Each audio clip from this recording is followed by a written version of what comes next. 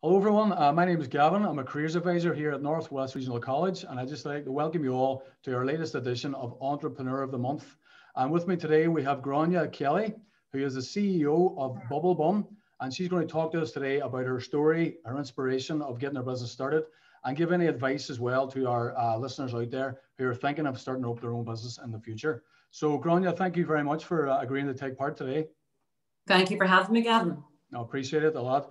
Um, and first question, Grainne, really is, can you just tell us a little bit about uh, BubbleBum and how you got started, uh, your inspiration, and a, a, little bit about your business? Well, Gavin, BubbleBum is a, as the name suggests, is a bubble for your bum. So I come up with the idea for BubbleBum when I was traveling with my own children, and every time I arrived to the car rental desk, of course, they didn't have the car seat when I got there. So I came home and as you do, you come home and say, oh, that didn't work out. But I came home and rang every crash test laboratory that I could find to ask them why there was no such thing as an inflatable seat. And they explained to me all the reasons why there wasn't. And I said about answering those questions and answering all those whys to solve the problem. So that's how I come up with the inflatable seat.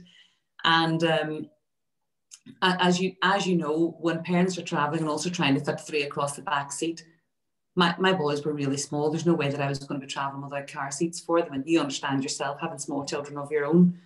So that's basically how I came up with the idea and took it from concept to shelf in nine months and was like a dog with a bone as I am with everything. So that's how I came up with the idea.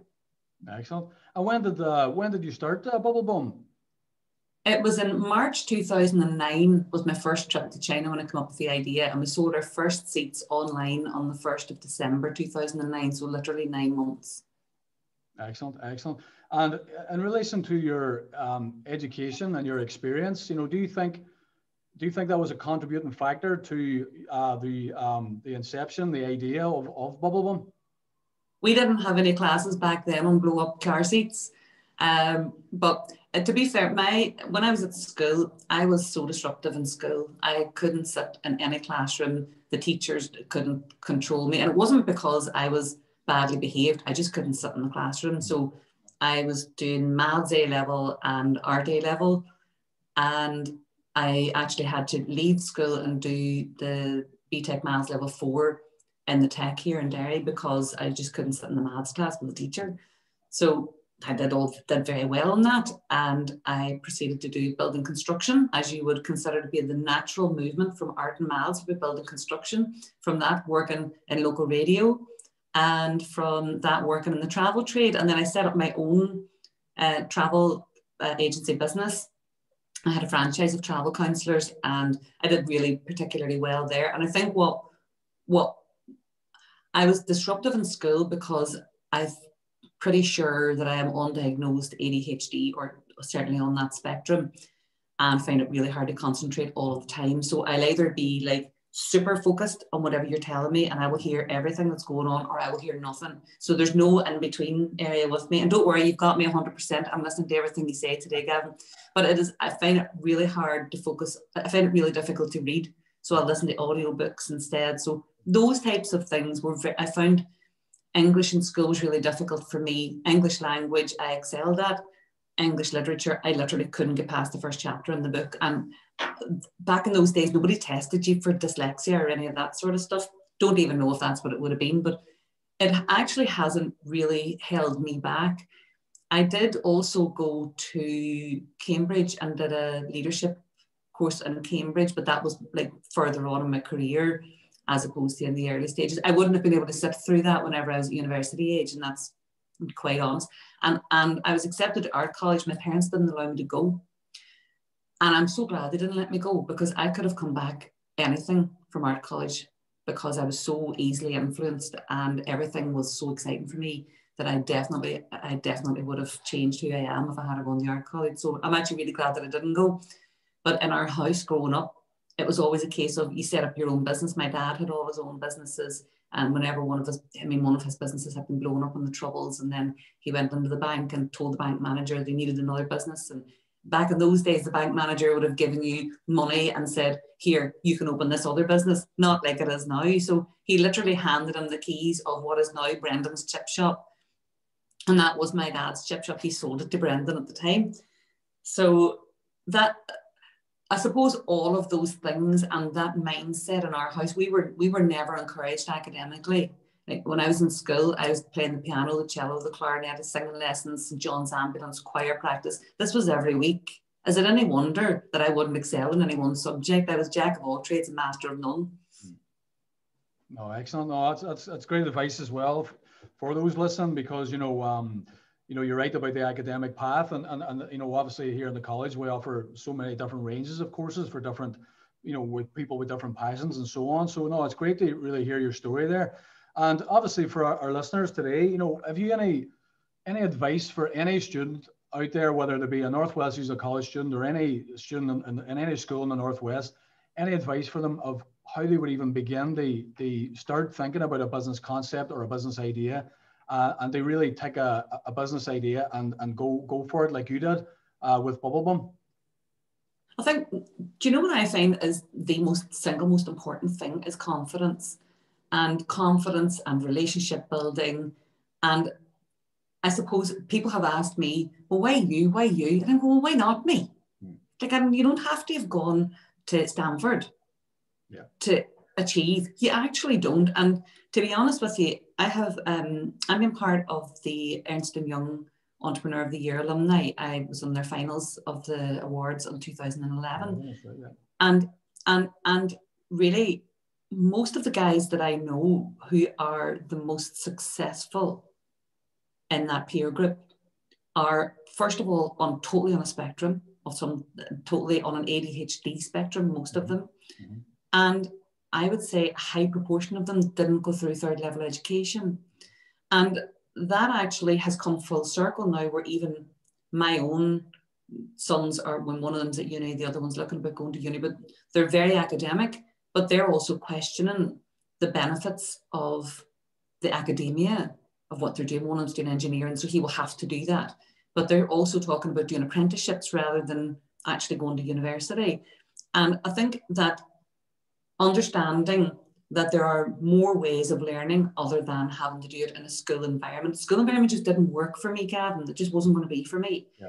But what I did learn, and this is something that has really stood to my advantage, and I would say that it's probably the sole reason that we were able to make this business a success, was that I'm able to really build and nurture relationships. And I think if you if you have a natural personality of building strong foundations for relationships. And I don't just mean being best friends with everybody you meet, I mean building strong, proper relationships where there's trust involved and that you can use that trust as a currency. So I would do that very, very frequently in business. And there are a lot of other people that I help. And there's just that there's that unspoken degree of trust because of the relationships that we have built. So the first thing that I would say is, why not me? And ask yourself the question, why not me? The second thing is, you need to have full confidence in yourself. And again, that's taking you back to the why not me. Mm. But having confidence in yourself, nobody else is actually any better than you. Mm.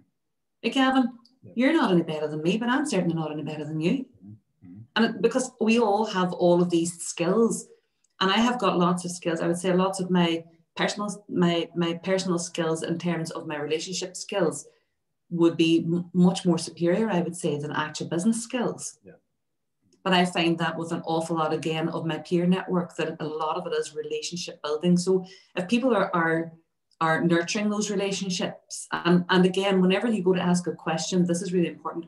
When you go to ask somebody a question about starting a business don't be going to them and saying oh tell me all about it. How did you do your business go to them with two questions that you need answered. And it doesn't matter how stupid you may think these questions are.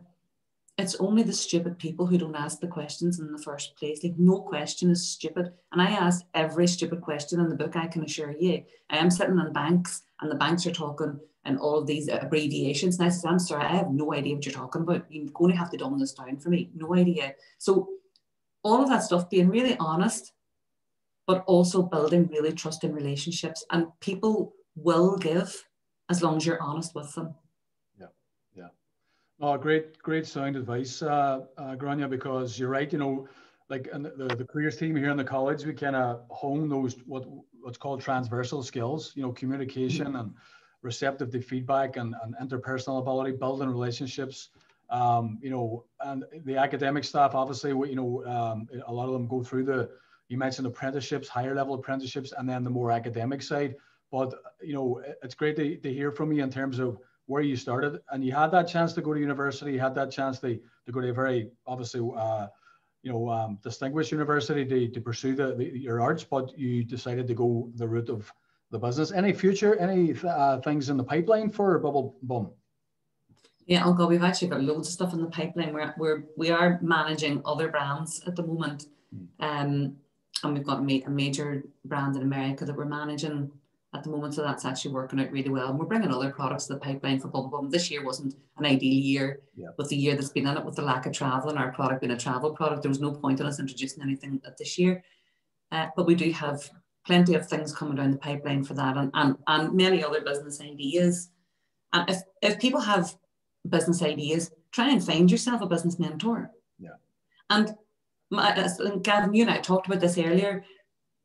A business mentor is not somebody who is written on paper that they're a business mentor. A business mentor is somebody who's been there and done it. Mm. Like try and find somebody who's been there and done it. And as I say, have your two questions ready that you want the answer to. Yeah. Yeah. No, definitely. No, hopefully we can work with you uh, in the future again, Grainne. Uh, we have a, a big event in uh, in November um, for Global Enterprise, and it'd be great to have you on campus to, to share your story and, and, and even maybe uh, liaise with each other about becoming a mentor for, for our young people because entrepreneurship is, is a big thing that we try and advocate here in the college. So so thank you very much for your time, Grainne. I really appreciate it, and I wish you all the best with uh, with the company. And we'll be in touch again soon. It's my pleasure, Gavin. Thanks so much. Thank you very much. Thank you. Thank you very much. I was Agronia Kelly, the CEO of BubbleBum. Thank you for listening to our latest edition of Entrepreneur of the Month. Uh, we'll see you all soon. And any questions, please email us at careers at nwrc.ac.uk and we look forward to hearing from you. Thanks again, Grainne. All the best.